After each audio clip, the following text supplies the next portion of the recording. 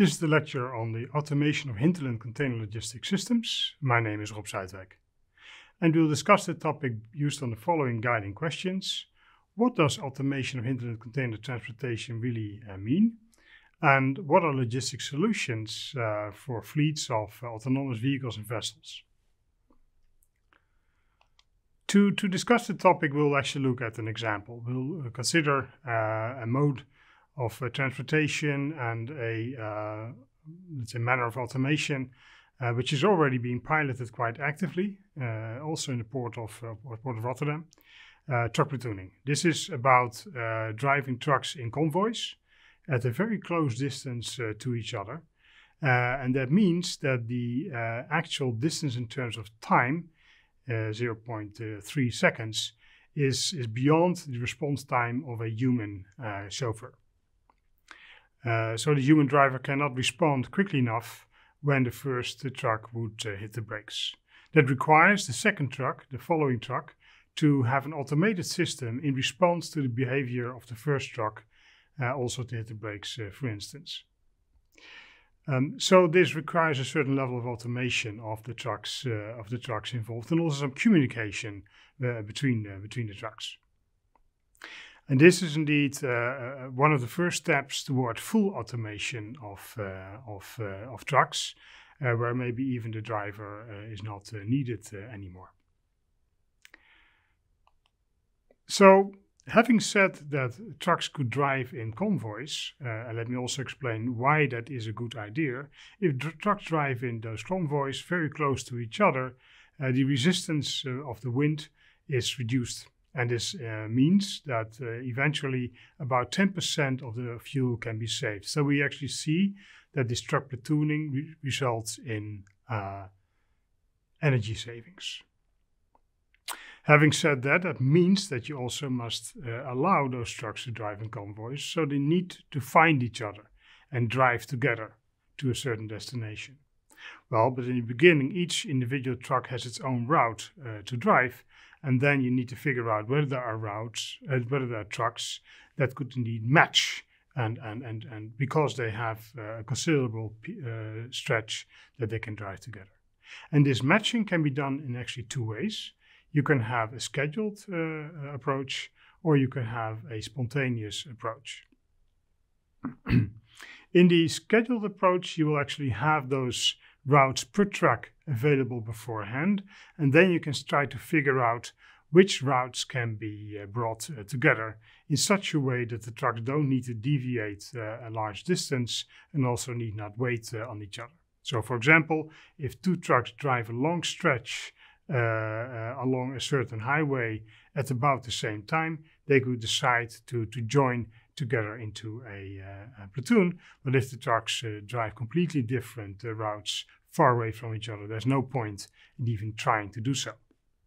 And you can plan this uh, by, if you have, uh, for example, 30 trucks, try to make as much matches as you can, and you can see this as a as a nice uh, uh mathematical problem, if you want, uh, to to to bring those trucks together. Another option is that you don't have that information available or don't uh, want to have it available and actually would like to look at the situation in a more responsive and ad hoc manner. So you just wait and see until trucks are actually on the road and those trucks themselves could even look uh, for another truck uh, to match up with. They could communicate uh, with each other, decide whether there's indeed sufficient stretch that they could join uh, in a platoon, and then actually form a platoon.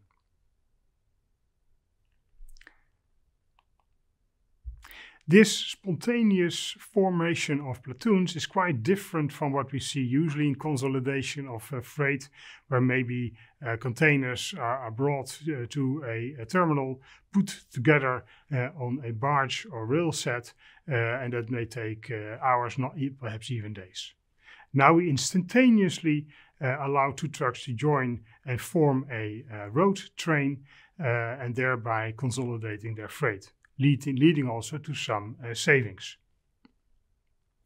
And this spontaneous uh, uh, behavior is also stimulated by higher levels of, of density on roads. If you have more trucks on the road, then the, the probability that two trucks can join together into a platoon is higher.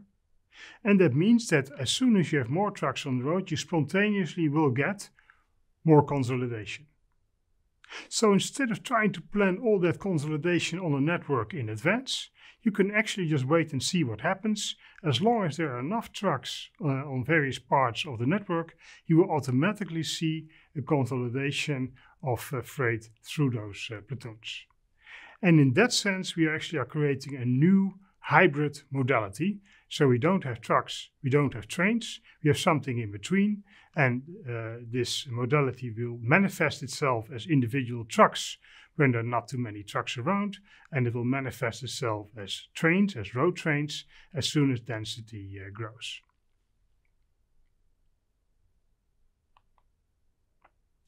So that's one example of autonomous transportation and how that uh, results in some interesting observations. On the other hand, we have also uh, vessels, uh, and also there we can uh, think of automation. Now, one thing which is particular about uh, vessels is that the size of the vessel uh, could, could change. An autonomous vessel doesn't need a skipper.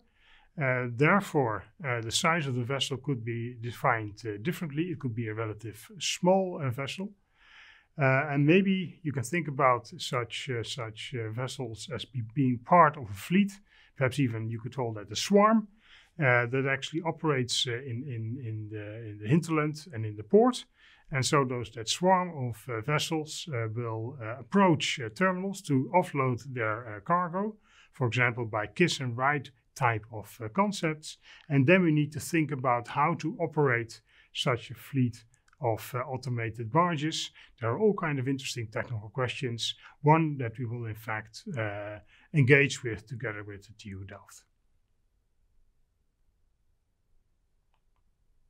So to conclude, we do see that automation of uh, hinterland container transportation uh, includes uh, the automatic deployment of, uh, of, uh, of uh, trucks, of autonomous driving capabilities of trucks.